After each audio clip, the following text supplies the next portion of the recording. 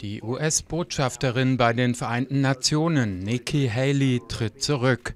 Sie legt ihr Amt zum Jahresende nieder, weil sie eine Auszeit nehmen wolle, wie US-Präsident Donald Trump bei einem gemeinsamen Auftritt sagt. Im Detail geht Haley nicht weiter auf ihren Rücktritt ein. Spekulationen über eine Präsidentschaftskandidatur weist sie zurück. Ich sage das hier für alle, die mich zu 2020 fragen wollen. Nein, ich werde nicht antreten. Ich verspreche Ihnen, dass ich für ihn hier Wahlkampf machen werde.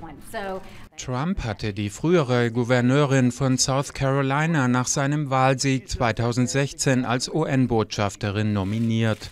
Sie profilierte sich schnell als Hardlinerin in der US-Außenpolitik, etwa gegenüber dem Iran. Als Tochter indischer Einwanderer ist Haley eine Ausnahmeerscheinung bei den US-Republikanern, deren Spitzenpersonal besteht hauptsächlich aus europäischstämmigen Weißen.